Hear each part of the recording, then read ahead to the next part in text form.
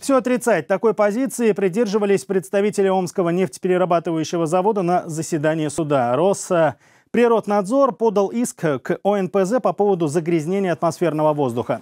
Так, надзорный орган считает, что именно нефтезавод – главный источник выбросов, на которые омичи жалуются с февраля. Росприроднадзор просит суд обязать предприятие провести инвентаризацию источников загрязнения. В буферных прудах с 50-х годов находятся отходы третьего класса опасности. Но эксперты так не считают. Они уверены, рекультивация прудов грозит экологической катастрофой, а отходы при должной переработке вовсе можно использовать в медицинском медицинских целях.